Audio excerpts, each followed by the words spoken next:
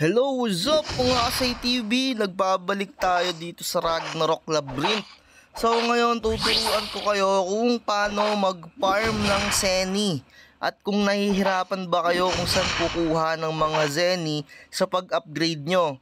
Kagaya nga ng tinuro ko sa inyo, kung meron kayong mga quest na kailangan ng upgrade, kailangan meron kayong mga lower star or yung 1 star, ayun lang yung i-upgrade nyo kasi masyadong mahal yung pag-upgrade ng mga 4 star.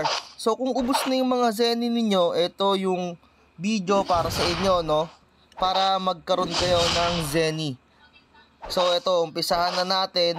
Unang-una, dito kayo makakakuha ng Zenny dito sa ah sa wheel Ayan no, sa wheel na to, replace wheel.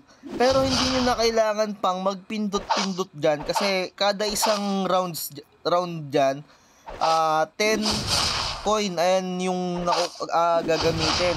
So, pouring coin. Yung pouring coin, nakukuha yan every time na nakaka-defeat ka ng monster.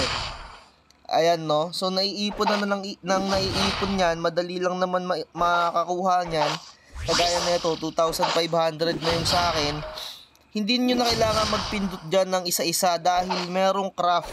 Ayan o, magka-craft kayo ng wheel box. Eto, katumbas neto, 50 times kayong nag-click doon. So, hindi na kayo mahihirapan pa. Mag-craft na lang kayo dito. Ayan o. 500 ang isang craft. Na, ayan, mag-craft tayo.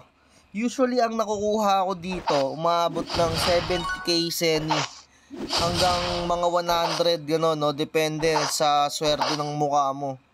So, ito, open natin. Ayan, parang nag-click doon, pero ito, uh, automatic na. Ayan, ganun din naman yung magagastos na uh, na pouring coins. Yung pouring coins nakukuha lang naman yan time to time. Madali lang makakuha niyan. Ayan.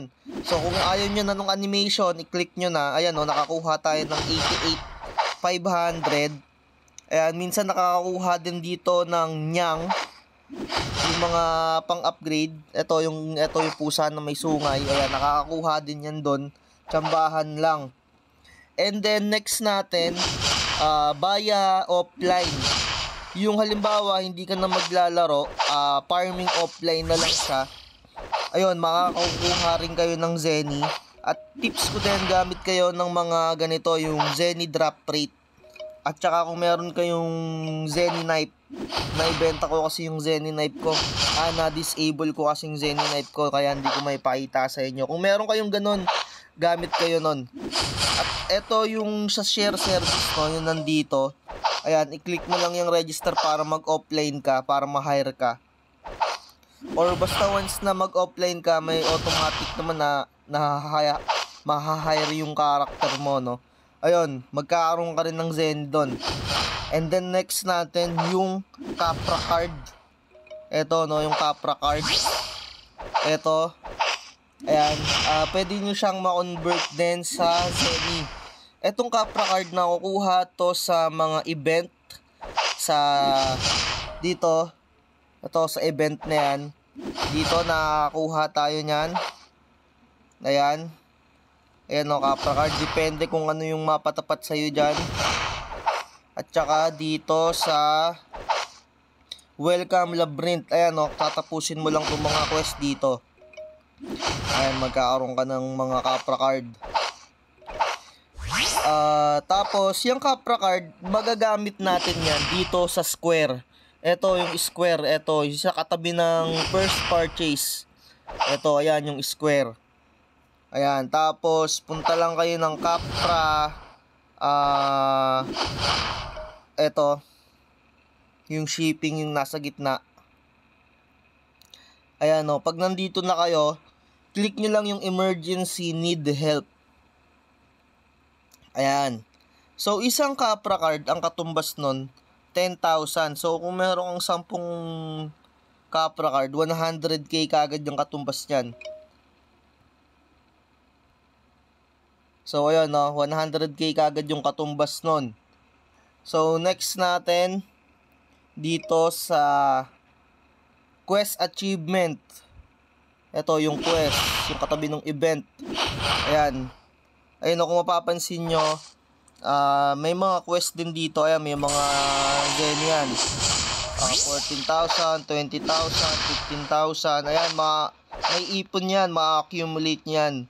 And then everyday, ah, ay, hindi pala, ano to, ah, tawag na ito, time to time, nagle-level up yan. Ayan, kapag na-reach mo na yung, yung quest, mag-upgrade yung quest. So, so, tapos lalaki yung Zenny na makukuha mo dyan.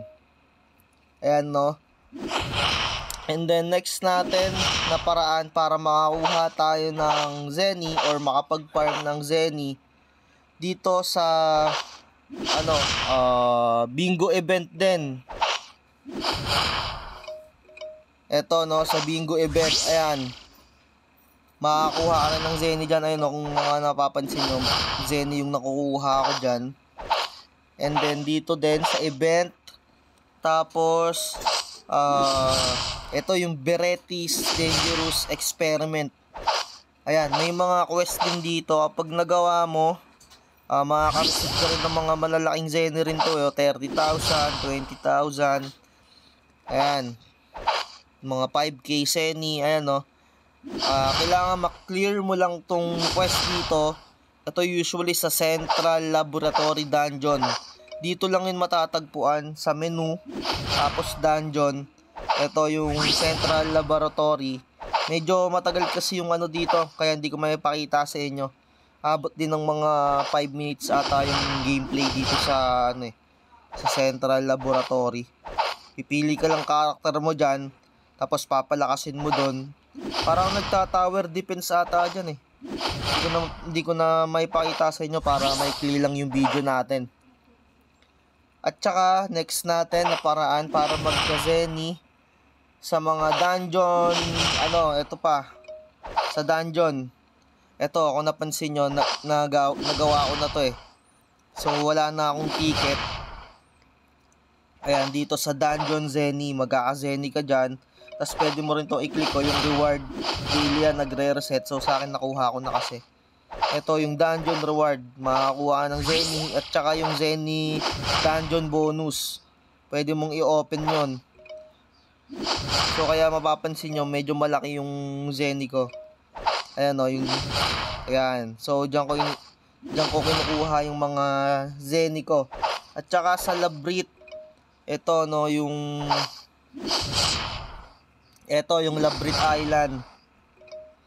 Ayan, pili ka lang dyan. Kapag na-clear mo yung yung mga ano dyan, yung labyrinth dungeon quest, eto no. Ayan, pag na-clear mo yan, yung multi, ayan, magkakaroon ka ng ano dyan, ng Zenny. Ito, pag na-clear nyo to. So, pinakita ko na lang sa inyo, kailangan naka-landscape mode din kayo, no? Para mabilis nyong makuha yung mga kulay blue. Ayan. So, hindi na tayo maglilib. Sayang eh. So, ito rin. Makakuha ka din dito ng Zenny. Mabilis lang naman mag-farm talaga ng Zenny.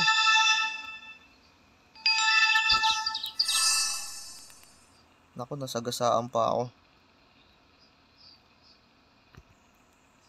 Ayan. Talunin lang natin to.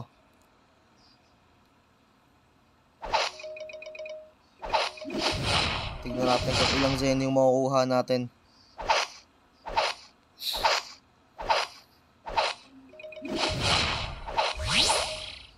Ayan, lapit na.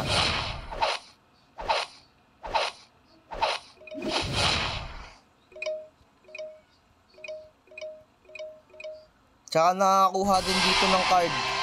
Ayun, nakakuha tayong Zenny 5K. Tapos, eto pa pala, pinaka mga last na to, dito sa, sa event din. Tapos, i-click nyo yung tree. Ayan o, may Zenny tree. So, dito, kailangan uh, medyo matagal kang naka-online hanggang 360 minutes ata to. Tapos, may ipon dyan yung Zenny, ma-accumulate. Claim mo lang yon Ayun na yung makukuha mong Zenny. So, na-reset na yung time nang na-online tayo. So, kailangan matagal kang mag-online, mag dadagdag ulit yan. Okay. Tapos, ah... eto pa, sa login rewards. Ayan. Sa login rewards, daily login. Ayan, medyo malalaki din yung Zenny dyan. Tapos, eto na. ah medyo last na to. Sa, sa shop. Ayan, may mga pre dito. Ah, hindi naman siya daily nagre-reset pero abang-abangan nyo lang. Merong pre pre Zenny dito. Ah, usually mga yung cooldown niya, ayan mga 5 hours, depende, random random yung ano dito. So ngayon walang walang naka pre Zenny, pero may lumalagay diyan na pre Zenny minsan. Ayan. So ayun, sana natutunan nyo kung saan nagpa-farm ng Zenny dito sa Ragnarok Labyrinth NFT. Like, share, and subscribe. Medyo madami yon no? Ah, isa-isahin nyo na lang. So, ito, magto 2M na yung Zenny natin. Kasi kapag ka medyo mataas na yung i-upgrade natin, malaki na yung Zenny na magagastos natin sa kapag upgrade, ayun, no, 20k, 20k kaagad. So, hanggang dito na lang. Bye-bye.